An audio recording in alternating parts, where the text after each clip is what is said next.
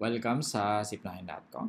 This video, tutuloy natin ang ating series about uh, trigonometry. No? Uh, dito sa video na to, ay may introduce tayo na mga special triangles. No? So, kung, kung pinanood nyo yung previous videos natin, ang pinag-aralan natin was about uh, trigonometric ratios no, of uh, right triangles.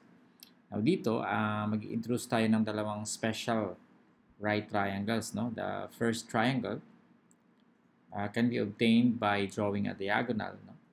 doon sa isang square and the second triangle can be obtained by um, drawing a perpendicular bisector sa isang equilateral triangle. No?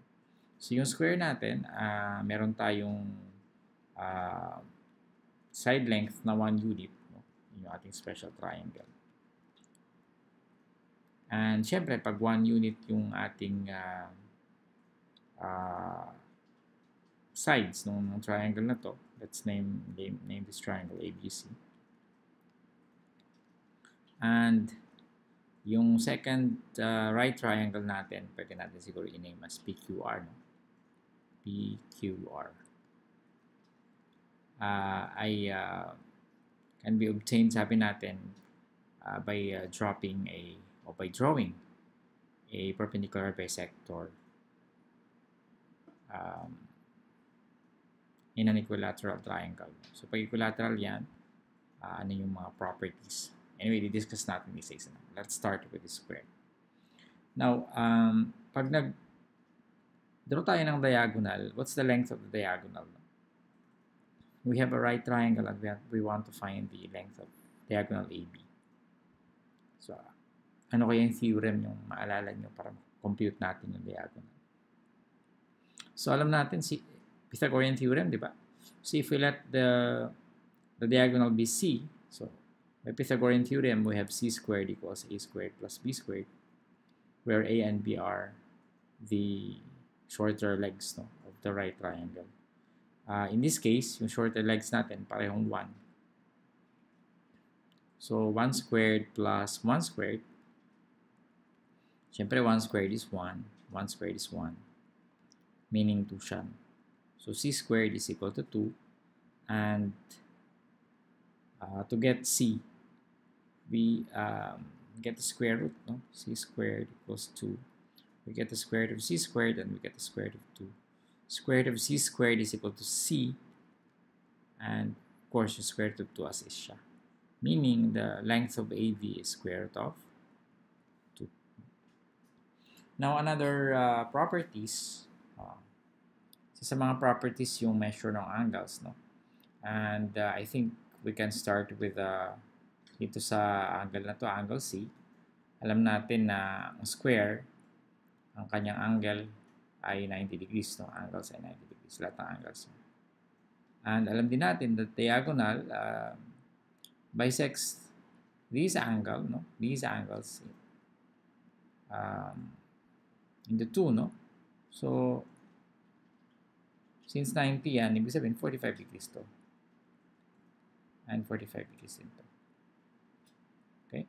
So, ibig sabihin, this is a 45, 45, 90 triangle.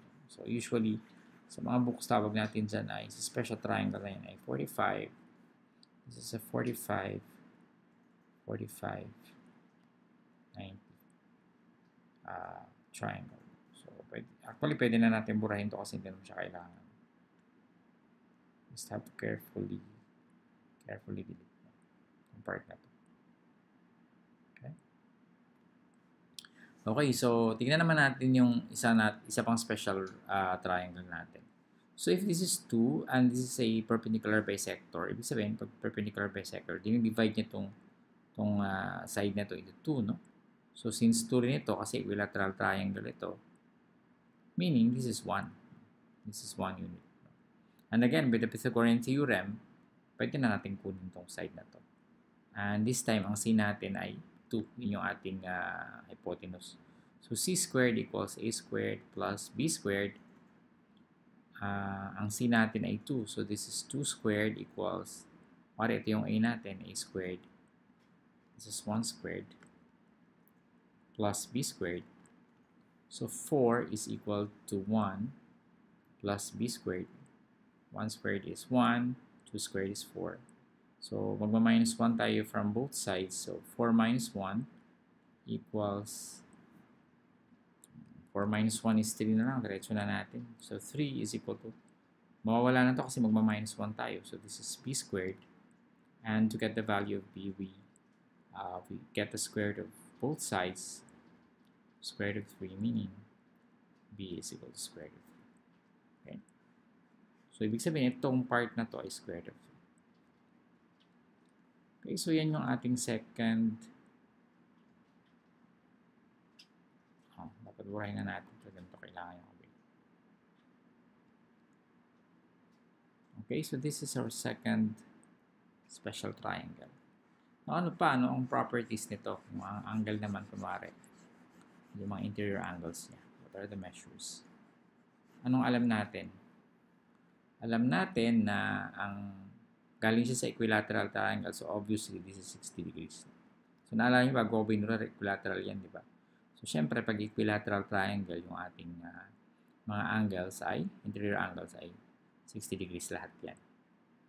Alam din natin, nasabi natin kanina, this is a perpendicular bisector. So, pag perpendicular bisector, pag perpendicular siya sa isang segment, ibig sabihin 90 degrees ito. Diba? Yun ang definition ng perpendicularity. Pag 90 ito, tsaka 60 ito, ano ito? So alam din natin that uh, the, the angle sum of a triangle or the sum of its interior angles is equal to 180 degrees. So may 90 ka, may 60 ka, meron ka ng 150. Ilan dito para makabuka ng 180? So this is 30 degrees.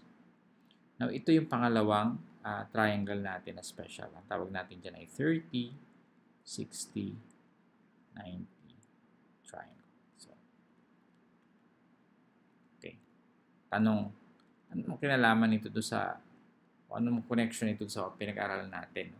Ang mga angles na yan ay uh, special kasi madalas silang uh, lumalabas sa mga problems so even sa mga practical applications no so kaya siguro sila tinawag na special triangles uh, tatlong angles ang importante dito yung 45 yung 30 tsaka yung 60 kasi yung 90 hindi naman natin kukuha yung yung mga ratios yan, trigonometric ratios. No? But yung 30, 60, tsaka 45, kukunin natin yan. No? Ano ba ang sine ng 45? Ano ba ang cotangent ng 30 degrees? Ano ba ang uh, secant ng 60 degrees? Okay, so, yan yung mga, uh, yan yung susunod natin na video. Uh, yung table, uh, trigonometric table of special triangles. Or trigonometric ratios of special triangles. Okay, that's it. Alam, at least alam nyo kung saan nanggaling itong mga triangles na ito at kung ano yung kanilang uh, properties.